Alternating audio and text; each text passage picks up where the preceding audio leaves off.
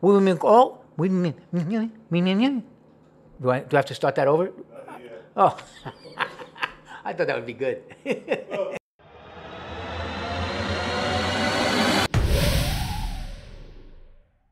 Welcome back, everyone, to another week of Real Estate Trends with your host, Philip Rispoli from MyDigitalListing.com and the Taberski Real Estate team.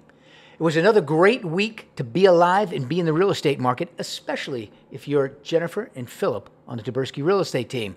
What a week and what a couple of months. Last week, we finally were able to release to the market our intent to open a new office in Greenville, South Carolina, and boy, are we happy to do that. The response from our customers is overwhelmingly supportive, and the ongoing conversations it has opened up is absolutely game changing. We knew from experience that affordability was a problem, but we didn't realize it was such a dinner table conversation till we came out with it in the open last week. Our customers and friends have really took this opportunity to open up to us and confirm more than ever that our move to open a second office in the area of Greenville is 100% the right direction. It also confirmed what we suspected, and that is we're going to be able to help hundreds of people over the next few years find more affordable housing out of state.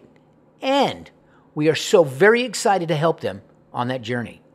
To that end, we want all of you to know we will be documenting costs since we are putting our money where our mouth is. And we are also building a house from start to finish in the up and coming town of Fountain Inn. Our permitting has just been approved, and they are breaking ground shortly. Exciting times ahead for sure. We will be documenting our cost, the processes, the timeframes, the whole experience, including all the insurance costs for homes, automobiles, so everyone here in Southwest Florida will have an accurate idea of the entire process, start to finish. We will make all this available online to our customers every step of the way. We plan a trip in early December with our videographer to shoot all the cities. Did you know that? Did you know we were going to shoot all the cities? Holy crap, he had no idea.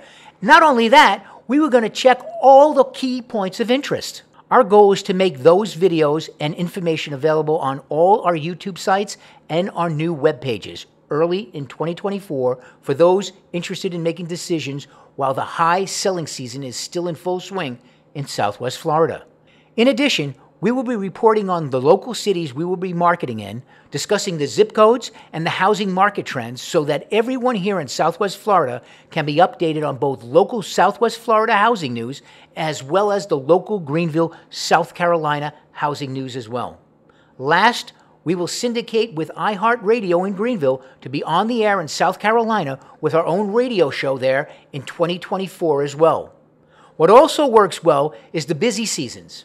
Our Southwest Florida busy season is January through April, and the Greenville busy season is usually May through August. That works great for our program and staffing.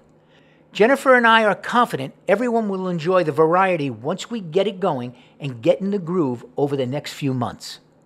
Okay, let's take a look at the local housing market. In the 33955 for the week of November 8th, we have a median list price of 479,000 and a median new list price of 399,000. Our price per square foot came in at $274 a square foot, and average days on the market continues to rise at 102. Median days on the market is now at 67, and inventory continues to rise. We still have 45% of the current inventory being reduced to meet customer needs. Market action is still slightly in the seller zone in this zip code. In the 33950, we have a median list price of 639,000 and the median price of new listings came in at 549,000. Our price per square foot shot up to $349 per square foot and average days on the market came down this week to 96 days. Median days on the market reduced as well to 67. 49% of the inventory is being reduced to meet customer needs, and market action is clearly in the buyer zone. We did four open houses last weekend and we had good results. Better results on Sunday.